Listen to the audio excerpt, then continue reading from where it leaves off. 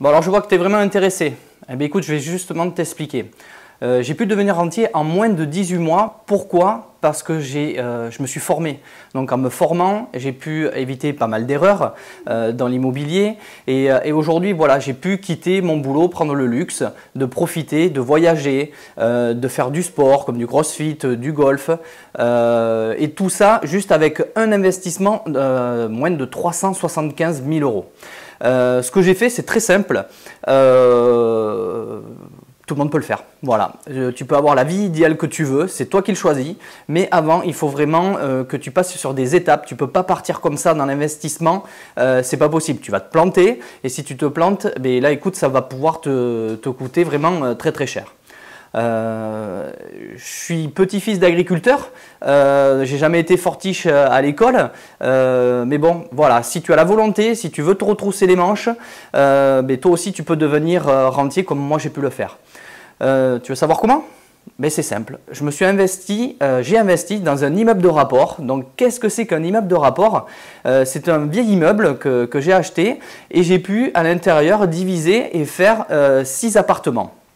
Donc j'ai pu faire des, studios, des T2, des T3, des T4. Et en faisant le, bon calcul, en faisant euh, les bons rendements, quand j'ai appris tout dans, ces formations, parce que j'ai pris plusieurs formations pour, euh, arriver jusque-là, euh, j'ai fait les études de marché. voilà, quand je me suis lancé, je savais que cet immeuble allait vraiment me rapporter. C'est pour ça qu'on appelle ça un immeuble de rapport.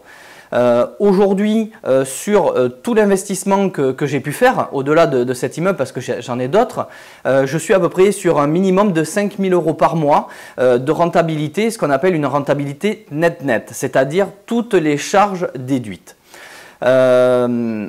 il faut aussi mettre la bonne fiscalité euh, en face. Euh, bien sûr, il ne faut pas faire un immeuble de rapport nu. Euh, pourquoi? Parce que dans quelques années, tu vas te faire rattraper par les impôts et ça te coûtera énormément cher.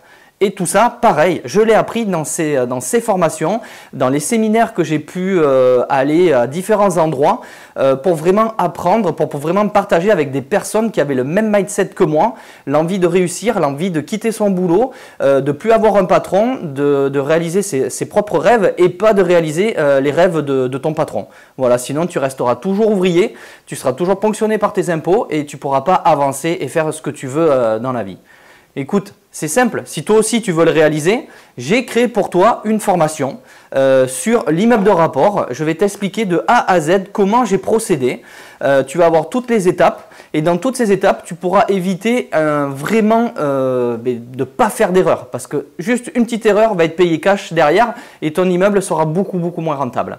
Voilà, et eh écoute, c'est simple, je t'invite à cliquer juste sur le bouton en dessous de la vidéo et puis je te dis à de suite.